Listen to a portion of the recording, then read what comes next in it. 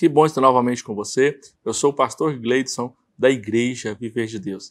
E é sempre uma alegria poder partilhar da vida de Deus na sua vida. Quero ministrar essa palavra no, no livro de Apocalipse, capítulo 3, o verso 8. Diz assim: Eu sei as tuas obras, eis que diante de ti pus uma porta aberta, e ninguém a pode fechar. Tendo pouca força, guardaste a minha palavra e não negaste meu nome.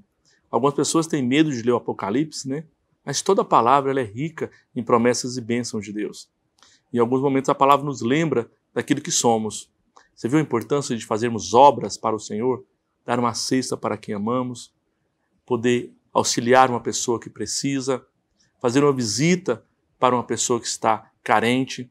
Quantas vezes temos oportunidade de abençoar pessoas e não fazemos?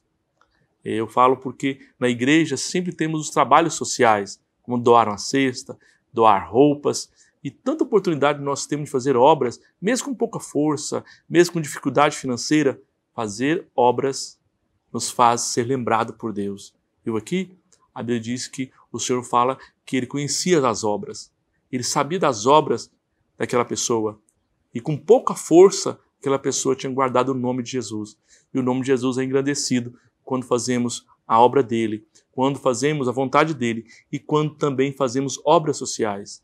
Faça obra social agora, faça uma doação, além do seu dízimo, da sua oferta, faça também obras sociais, porque aqui diz que o Senhor conhecia as obras que aquela pessoa fazia. Faça e Deus vai te recompensar. Outra coisa, quero fazer um convite especial hoje. Vem estar conosco na Igreja Viver de Deus. Lá tem bênção para a sua vida. Também nos siga nas redes sociais. Deus te abençoe.